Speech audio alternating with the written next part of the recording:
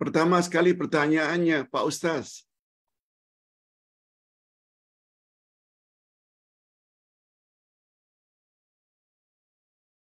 Saya akan berangkat ke Sabah pada 18 hari bulan Julai. Dua minggu lagi. Akibat daripada pihak penerbangan Air Asia yang sering menukar-nukar waktu penerbangan. Flight yang akan saya naiki tersebut telah ditukar kepada 6.15. Lebih kurang satu jam, lebih sedikit sebelum maghrib.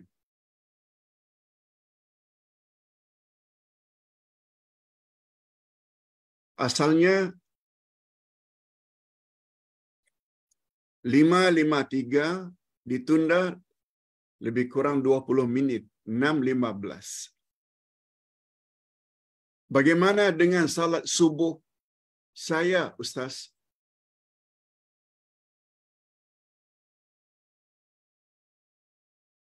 Maaf.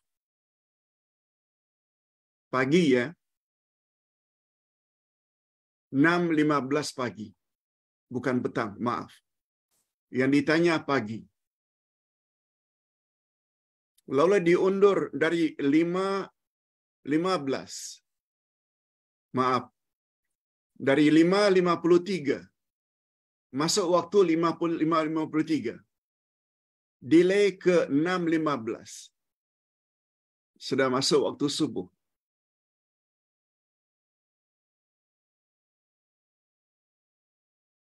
Bolehkah saya salat isyarat di dalam flight?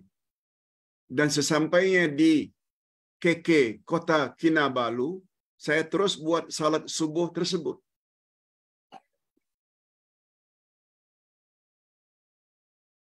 Hadirin dan hadirat perkara ini kita selalu sebut dan jelaskan. Kita dibolehkan salat dalam pesawat. Ambil saja uduk sebelum naik kapal terbang. Atau beruduklah dalam kapal terbang dengan hanya spray, ratakan, spray tangan, ratakan. Uduk kan macam itu. Pokoknya menyampaikan air ke anggota wuduk. Kemudian dalam keadaan duduk dalam pesawat, walaupun ke arah tidak menghala ke arah kiblat, salat saja. Sebab itu dimaafkan. Tak perlu salat isyarat. Dan salat itu tak perlu dikata dah sah dah. Ingat selalu kaedah dalam agama la yukallifullahu nafsan illa wus'aha. Allah tidak memberatkan manusia kecuali apa yang dia termampu. Itu yang dia termampu. Itu salat itu sudah sah dan tak perlu dikata. Malah tidak salat dalam pesawat hukumnya dosa. Menangguh-nangguhkan sampai habis waktu. Lalu berniat kada saja nanti? No. Dosa besar meninggalkan salat. Jika tidak salat dalam waktunya. Kecuali lupa. Tapi kes yang ditanya tadi itu, kes bukan lupa. Yang kedua, apabila saya buat salat jama' Contoh salat maghrib bersama isyak selepas buat jamak takdim, saya buat salat sunat ba'diyah maghrib. Tetapi untuk salat sunat ba'diyah isya, bila waktu yang perlu saya buat, adakah bila masuk waktu isya, saya sudah boleh buat salat ba'diyah isya tersebut? Mohon pencerahan Pak Ustaz. Terima kasih. Hadirin dan hadirat. Bila kita musafir, menurut Nabi, salat yang jangan kita tunggal, tinggalkan, salat sunat yang kita jangan tinggalkan dua saja. Pertama witir, yang kedua qabliyah subuh. Salat sunat rawatib yang lain sebelum zuhur, setelah zuhur, setelah maghrib, setelah isya. Tak payah kita buat. Tak buat boleh. Apalagi kalau kita jamak, jamak maknanya menggabungkan dua salat dalam satu waktu. Kita kasar pula yang empat rakaat jadi dua, kan dengan tujuan meringankan. Mengapa mesti buat pula? Qabliyah atau Ba'diyah Maghrib, Ba'diyah Isya. Tak perlu. Sebab kata Nabi dalam hadis lain, bila seseorang sudah melakukan secara rutin rawatib sebelum musafir, dia tidak buat rawatib dalam musafir, dia tetap mendapat pahala. Sebab kata Nabi dalam hadis, siapa buat amal-amal sunat secara rutin,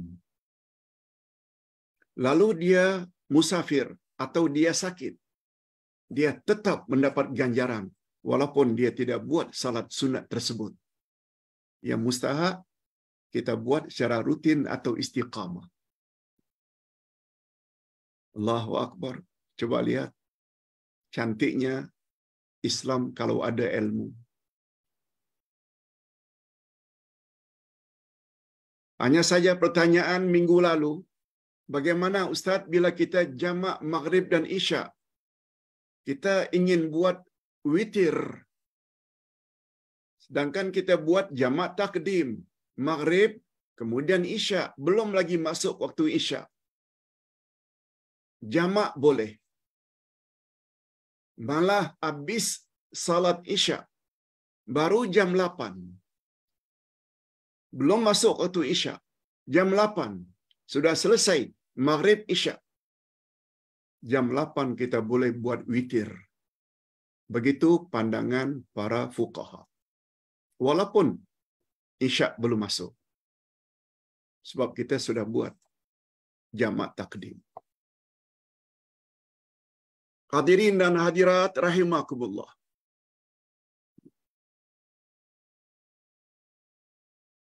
Pertanyaan berikutnya. Pak Ustaz, saya ada ikuti YouTube di antara ustaz-ustaz sunnah. Bagus. Cuma yang menjadi pertanyaan, ustaz tersebut mengatakan,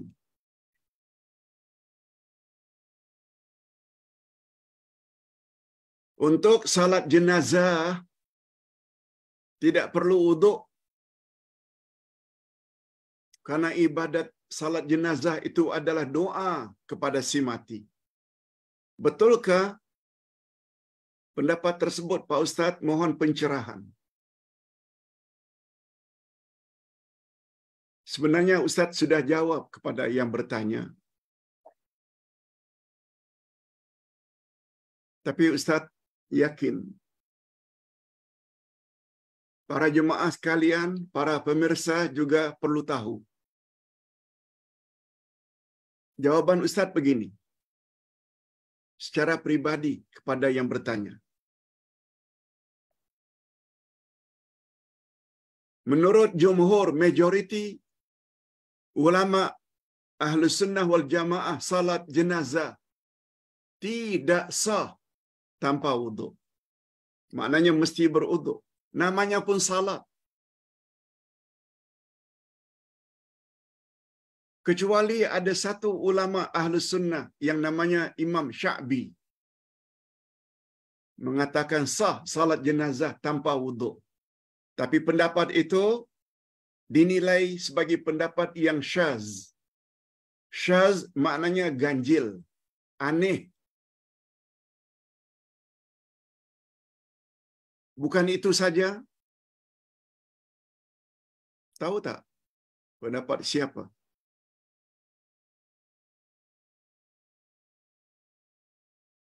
Yang mengatakan salat jenazah sah tanpa uduk. Jawabnya pendapat Syiah. Syiah kata salat jenazah tak payah uduk. Tapi ahli sunnah wal jamaah termasuk Imam An-Nawawi. Tidak sah salat jenazah tanpa uduk. Okey.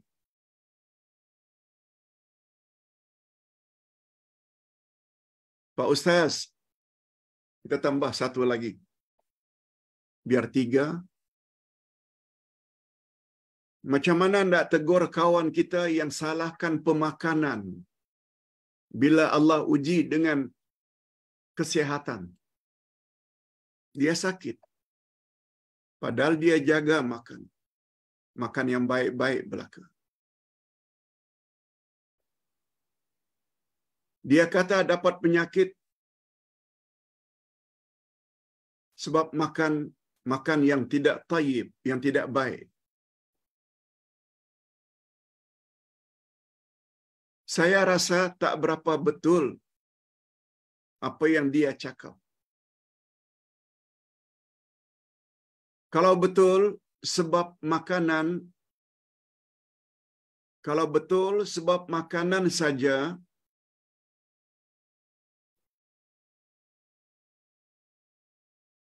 kita dapat penyakit, kenapa para ustaz juga ada yang sakit?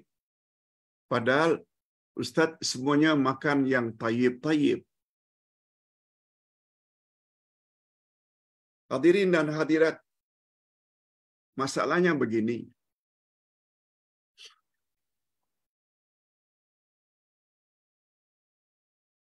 Memang ada nasihat para dietitian, pakar pemakanan. Kalau awak ada sakit jenis ini, sebaiknya jangan makan ini, ini, ini, ini. Sebab dia dapat memudaratkan. Kalau, kalau awak ada kolesterol, jangan makan makanan yang berminyak, yang berlemak.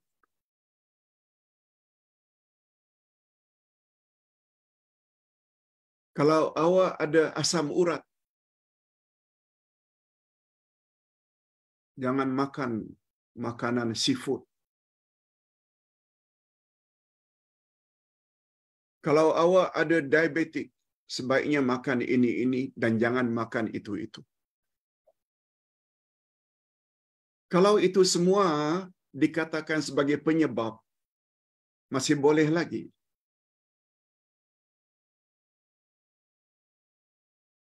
Sebagaimana sebaliknya, yang menyembuhkan penyakit kita adalah Allah, bukan obat. Tapi obat itu hanya sekedar penyebab kita jadi sembuh.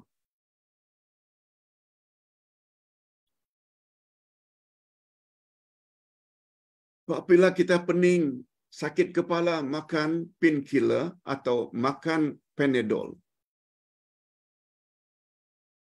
Tidak salah. Tapi bila kita sembuh setelah makan Panadol, jangan kata Panadol yang menyembuhkan kita. Yang menyembuhkan kita adalah Allah. Panadol hanya penyebab saja. Allah berfirman dalam Al-Quran, Wa idza maridtu yashfin. Bila aku sakit, dialah Allah yang telah menyembuhkan daku. Bukan obat. Tapi meyakini obat sebagai sebab tidak mengapa. Sebagaimana kita haus, kita minum. Setelah minum, hilang dahaga. Tidak salah. Kalau keyakinan kita air sekedar penyebab hilang dahaga. Bukan air yang menghilangkan dahaga. Yang menghilangkan dahaga tetap Allah. Oleh sebab itu, apabila seseorang mengatakan makanan itulah yang membuat saya sakit, itu salah. Yang membuat kita sakit ini adalah Allah. Pemakanan-pemakanan itu hanya penyebab saja. Ringkasnya, selagi kita anggap benda-benda tersebut sebagai penyebab, masih tidak salah. Walaupun makanan itu kita anggap sebagai makanan tayyibah, makanan yang baik-baik. Itu menurut penilaian kita. Apabila datangnya sakit itu bukan semestinya yang kita makan itu. Berapa banyak orang-orang yang apabila beli sayur mayur atau buah-buahan dicuci berkali-kali dengan air basuhan beras kadang-kadang supaya hilang kuman-kuman namun berpenyakit juga. Jadi penyakit itu atau kesembuhan itu datangnya daripada Allah sedangkan segala sesuatu itu sebagai penyebab. Kalau hanya sekedar katakan sesuatu sebagai penyebab, tidak ada salahnya insya Allah. Tapi tetap yang menyembuhkan dan memberi penyakit itu adalah Allah Subhanahu wa taala. Itu dulu yang dapat Ustaz sampaikan pada pagi ini. Mudah-mudahan ada manfaatnya.